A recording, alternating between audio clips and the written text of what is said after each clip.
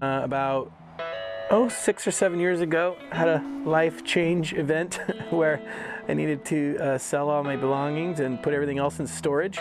And I didn't want to pay storage fees, so some friends of mine lived down the street. They said if uh, if I built a cabin that looked nice enough that I could put it in their yard, so I had to paint it to match their house. And uh, yeah, so I built a 12 by 16 shed on 4 by 6 skids and stored all my stuff in it.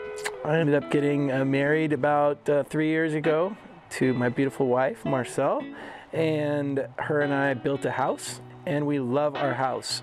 But we ended up using it for nightly rentals in the summertime in Seward here, which is a pretty popular thing. We were blown away by how the nightly rental market is here. So we ended up renting our house out for the summer. And so we needed a place to stay when we would come here on the weekends to work on the property. And then we have our little tiny house here.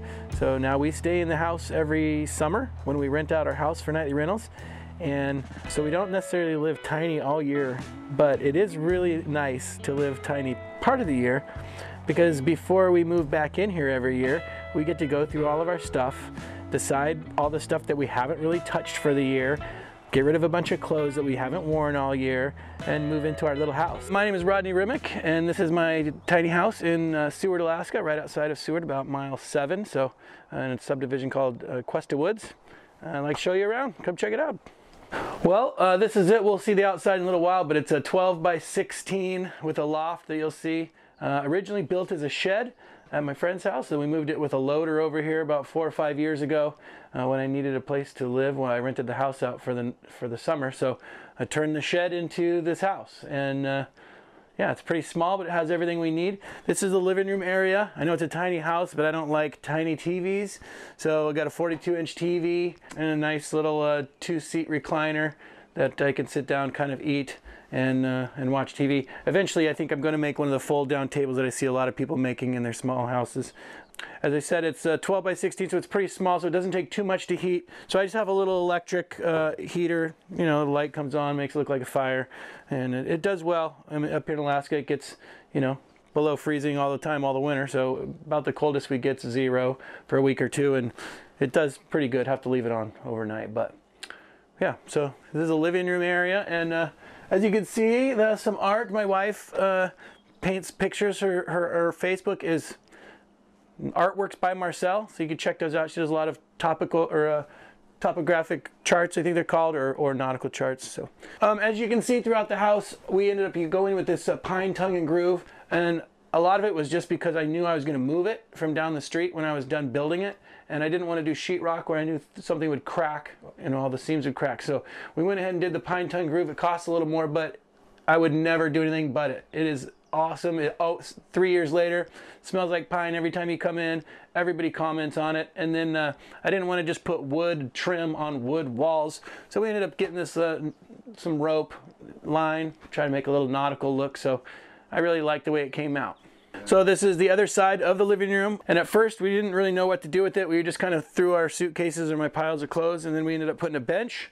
And then my wife uh, had an idea to put the coat, coat hanger up there. So it's really very, very functional. And for my wife and I, it's perfect size. Obviously, I've got a lot more clothes right here now because um, she hasn't put her stuff in here yet for the summer, but um, it's probably the perfect size for two people. And one thing about living in a tiny house, every so often you get to go through all your stuff. So you get to go through your clothes and get out what you don't use and uh, try to keep what you do use. And yes, I do use this shirt sometimes, so I will be keeping it. But uh, yeah, I wouldn't change much about this space at all, other than I wish there was a way to nicely kind of cover it up.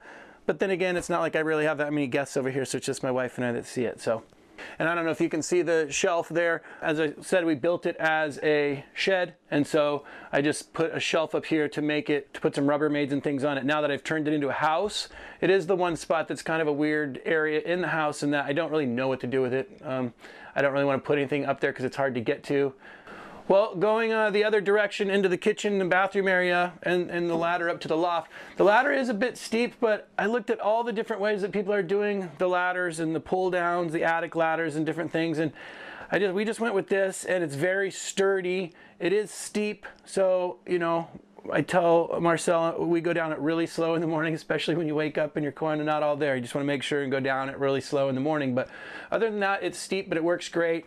Very sturdy, like I said, and, and it takes up a lot less space just being that steep. This is our kitchen area, and again, it's tiny, but it has everything a normal kitchen would have. Uh, four burner stove, electric. It's the smaller stove. I think it's 24 inches. Uh, and, and, smaller than the standard stove, but it is a four burner electric stove. Obviously got the microwave with the vent underneath all plumbed in, so whenever time you cook, all it vents outside. A full size sink and Keurig, toaster, all that good stuff. And then not quite a full size refrigerator, but definitely not a mini. I think it's 32 inches wide, something like that. It is a weird shape. I, I had this fridge, and so I made the space for it. Now I'd like to up, get a nicer fridge, but it's really hard to find that exact size. So I'm sure when you guys are deciding which fridge to use. They have the really tiny ones or the standards, and all, everything in the middle is such a weird shape. It's hard to replace. But you can see that the uh, cabinets don't match. That's because I'm on a low budget, and uh, some people in town were selling these cabinets from a remodel they did. I think I got them for 50 bucks. And then in the back of Lowe's and Home Depot, you can always get the dinged. And so both of these ca uh, cabinets were missing a hinge, and so they were all discounted. So I fixed those, but obviously they don't match. And then just a standard um, Lowe's countertop that you can get the pre-made and I really like it. It's very very functional. Like I say, oh here's here's that hot water heater I was talking about, or the water heater. You don't need to heat hot water. 17 gallons, I think. It's enough for two short showers or one long shower, and it takes about 30 minutes to heat back up. So very functional, like I say. Um, and you can see on the floor, we put the, uh, before we did anything, we put this vinyl down on the whole area, the whole cabin. And then I just got a remnant for the, for the living room because I liked carpet more, but if we ever pull it up, it would just be all this underneath. Kind of just helps seal it and insulate it as well.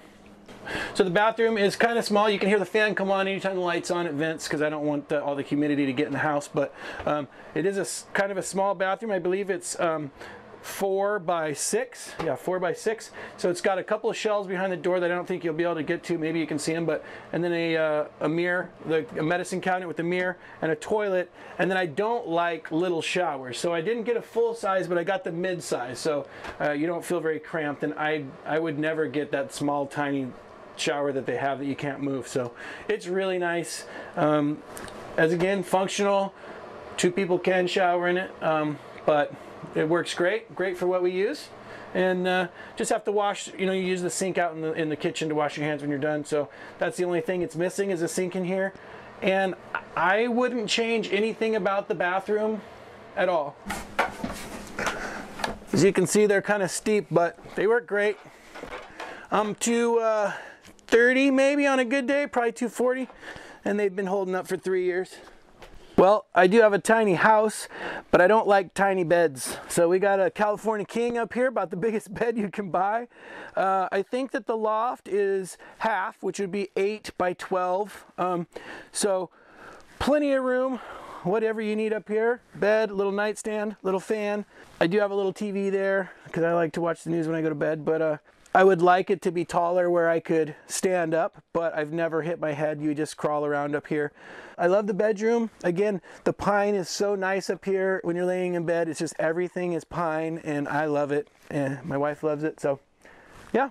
So at first we just had just the tiny house. We didn't have the porch on here and I found that we kept bringing dirt and mud inside. So we uh, built this little six foot by the width 12 um, deck and obviously put this clear sun Suntuf up and I would never have a deck in Alaska or anywhere that did not have clear roofing for now on. Because oftentimes the temperature is fine but it's raining and so I will sit out here when it's pouring rain and it's beautiful. Uh, so gets lets all the light in obviously doesn't let the, the rain in. So yeah we love the porch love hanging out out here definitely would never have a tiny house without a porch on it. I love just getting into gardening this year, so we put some uh, flower beds in down at the main house, and then we just have our little hanging plants. We got some mint here. Hopefully, in another couple weeks, I can pick some mint to put in the tea when I make some sun tea. And uh, yeah, we just put a little table out here last year so that we could enjoy dinner and a glass of wine in the evening. Ended up putting stairs on both sides because people kept parking on uh, either side, uh, and so we just put a stairwell on each side so that we can make it up. Obviously got a barbecue here for the summertime. Um, and we got a couple extra little tree trimmings from uh, the yard. So we have a little bonfire at night sometimes when we're enjoying our wine.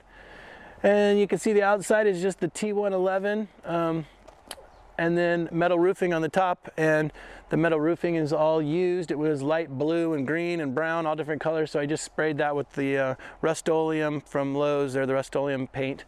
Uh, I think it took a gallon and a half to do the roof, but to make it all look nice. And then just T111 with uh, paint to match the house. We really like the paint color of our house, blue and white. So yeah, wouldn't change anything about out here. As you can see, there's an orca on the top here. My wife uh, and I decided that there was a big space up there that needed to be filled. So she cut it out with a jigsaw and painted it. Uh, and that's what she loves doing is painting. So as I mentioned, she has, uh, her Instagram is nautical chart and she does all sorts of wildlife paintings like that. So she loved putting an orc up there and then we actually put a, a humpback whale on our, on our main house. So just something to do on a Saturday afternoon. a lot of people uh, like it a lot. I think it adds a lot to the front of the house. Every time I'm in it, I'm proud of it, and I just see our work, our work that we put into it and stuff. So uh, I plan on living tiny Indefinitely. We love sharing our house with other people in the summer, and as long as the market's good, then we'll probably live tiny every summer. Uh, I mentioned that we're outside of Seward, Alaska, and for anybody seeing that that's not in Alaska or hasn't been to Alaska, I would highly recommend coming to visit. And I do work for Major Marine Tours here in Seward. We do uh, glacier and wildlife trips, which are amazing. If you haven't done one, you need to do one. We've got all sorts of trips to go to the glaciers and see the whales. So all that's on majormarine.com. If you ever do come to Seward and want to stay in, in our tiny house, we can make that work too for nightly rentals.